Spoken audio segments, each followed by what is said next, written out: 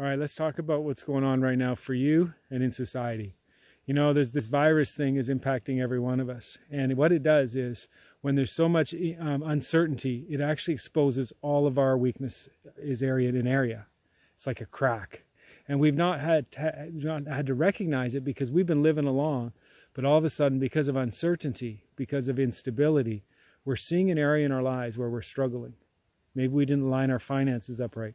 Maybe we're not sure how we're going to do in this area. Maybe we're uncertain about our health. Whatever it is, there's some area which now has been exposed as a result of the pressure. So here, here's, here's the good part.